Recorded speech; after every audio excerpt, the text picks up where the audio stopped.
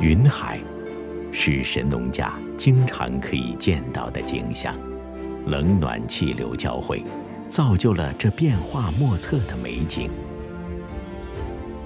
不断涌动的气流，有着抚育和滋养生命的使命。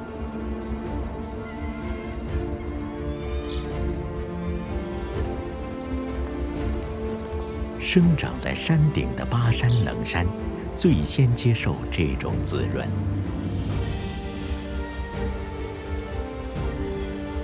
巴山冷杉是中国特有树种，是高山植物群落的建造者，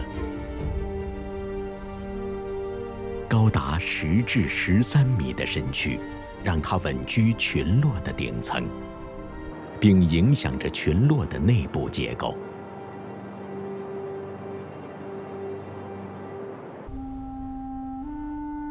在它直径达三点八米的树冠覆盖下，灌木只能获得光照的百分之十。它们是丛林里的中产阶级，而草本植物则是地道的草根阶层。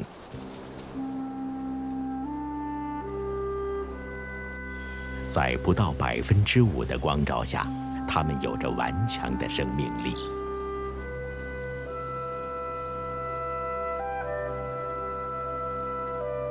匍匐在地表的苔藓似乎最为卑微，但它们的作用足以赢得丛林的尊重。它腐蚀岩石，带来土壤；分解植物，带来营养物质。为森林中的植物营造生存的环境。在神农架，以巴山冷杉为主的高山原始森林，为动植物的生长提供了条件。松鼠和金丝猴是生活在这里的主要动物，它们在觅食的同时，把植物的种子传播到各个角落。为植物的繁衍创造了条件。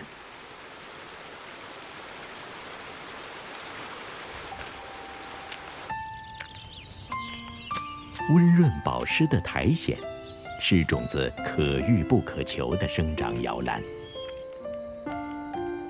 巴山冷杉幼苗扎根在苔藓中，它必须把握住机会，尽可能生长。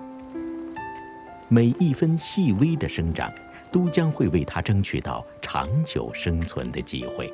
从种子到幼苗，巴山冷杉只有一万分之一的存活几率。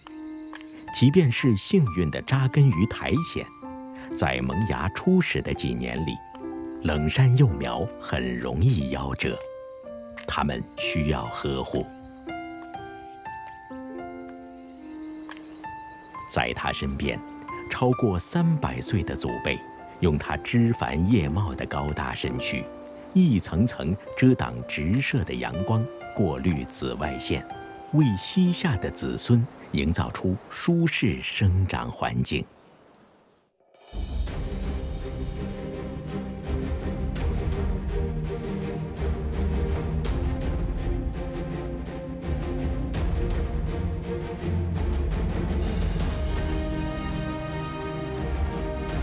生长在海拔两千至三千五百米的巴山冷山，占神农架森林面积的百分之十六。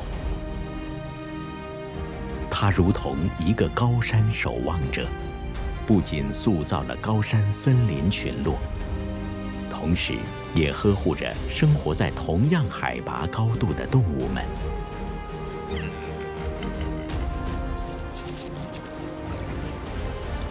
对于濒危动物川金丝猴而言，巴山冷杉不仅仅是栖息场所，更是它们赖以生存的家园。